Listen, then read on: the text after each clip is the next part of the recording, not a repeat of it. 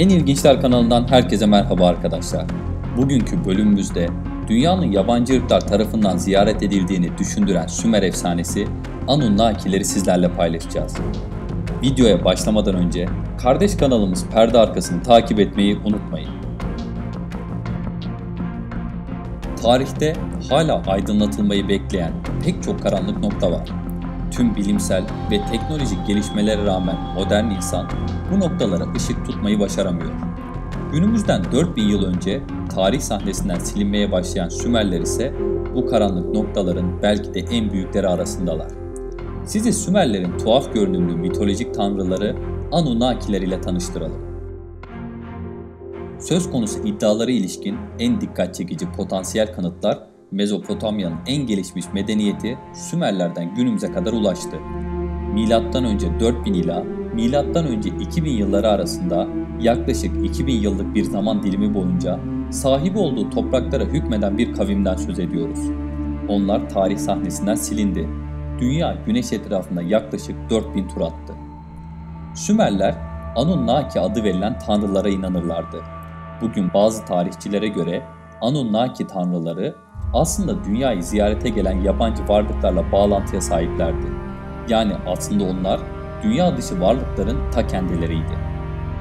Bu meseleyi aydınlatmak sadece tarih alanındaki uzmanlıktan daha fazlasını gerektiriyor. Zira iddiaları destekler niteliğe sahip çok sayıda bulgu var. Gelin bu bölümümüzde bu iddialara daha yakından bakalım. Anunnaki tanrıları antik Yunan ve Mısır mitolojilerinden daha da eski bir mitolojiye ait. Sümerlerin bugünkü Irak ve İran olarak bilinen Orta Doğu bölgesinde yaşadıklarını biliyoruz. Buradaki mitolojik değerler bugünün popüler kültürüne yön veren antik Yunan mitolojisinden de eskiler. İnanışa göre Anunnaki tanrıları göklerde yer alan bir yerden dünyaya geliyorlardı. Pek çok mitolojide olduğu gibi Sümerler de göklerden gelen varlıklara inanıyorlardı. Babiller kendi inanışlarında yer altını koruyan 300 Anunnaki ve gökyüzünde bulunan 300 farklı Anunnaki'nin varlığından bahsettiler. İşler bu noktadan sonra tuhaflaşmaya başladı. Önce 2500 yılında Sümerler Anunnakilerin başı olan Anin, oğlu Enki için dua etmeye başladılar. Enki'nin pek çok tanrıçı ile birliktelik yaşadığına, neslinin devam ettirmesi gerektiğine inanılıyordu. Bu kadar tarihi detaydan sıkıldıysanız olayları daha heyecanlı kılmanın vakti geldi. 19. yüzyılın başlarında arkeologlar sayısı onlarca bine ulaşan çok sayıda Sümer tabletine ulaştılar. O tabletlerin çevirileri günümüzde hala devam ediyor. Nibiru gezegenini hiç duydunuz mu? Sümerler, Anunnaki tanrılarının 12. gezegen olarak adlandırılan ve Nibiru olarak bilinen bir gezegenden geldiklerine inanıyorlardı. Azerbaycanlı yazar Zehira Seçin, Tanrı Enki hakkında kitabında bu iddialardan bahsediyor. Tabletlerde yazılanlardan hareketle Nibiru, yıldızı etrafındaki bir turunu 3600 dünya yılında tamamlıyor. Yine aynı tabletlere göre Nibiru, bundan 450 bin yıl önce dünyaya yakınlaştığında Anunnakiler gezegenimize gelmeye karar verdiler. Yazılanlara göre Anunnakilerin dünyaya iniş yaptıkları yer Sümerlerin yaşayacağı bölgeydi. Sümerlere göre Anunnakiler kendi gezegenleri Nibiru'nun atmosferini yeniden düzeltmek için altın elementine ihtiyaç duyuyorlardı. Dünyadaki altını çıkartmak adına işçi görevine sahip olacak insanı yarattılar.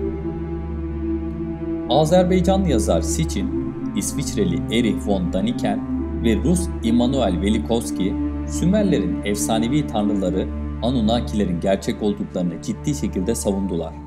Bu üç bilim insanı Sümerlerin efsanelerini sürekli gündeme getirdiler.